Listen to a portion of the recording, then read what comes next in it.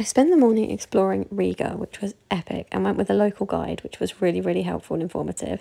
This is where I had lunch, called the Herbery, and this is where I had dinner, which was called Estis Migla. Sorry if I've absolutely butchered that. It was really nice though, and here I am enjoying a drink. I then headed to Cēsis and checked out the castle. This cannot be missed. It was so good and very traditional too. Then I drove to my next accommodation, which was in the middle of nowhere. It was so cool, and this hut was lovely, and everyone there was really nice as well. Then we took a short drive from Cēsis to a local's house, which was amazing, and that's when things started getting really cool.